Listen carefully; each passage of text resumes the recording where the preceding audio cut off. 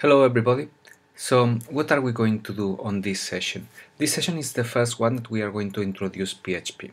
So it's going to be a very lightweight session. Okay, we are going to see what PHP actually is, okay, what does it mean to use um, a server language, okay, what is the difference between server language and client uh, language, okay, like the one that we have been using that is jQuery.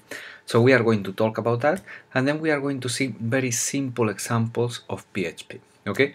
So when you see a PHP uh, page, so you know that it's PHP and it's not client side, okay, how can you see that?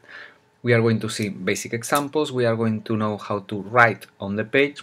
We are going to, to see how to combine HTML and PHP. How can you put both on the same page?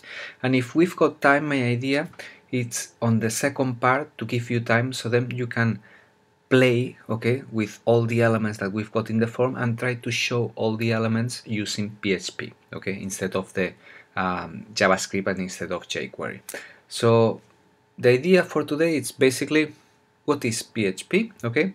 Try to create a PHP file, try to do something with variables so you know the difference between variables from uh, jQuery and JavaScript and variables from PHP and then try to uh, collect some information from a form and trying to show this information on a PHP file.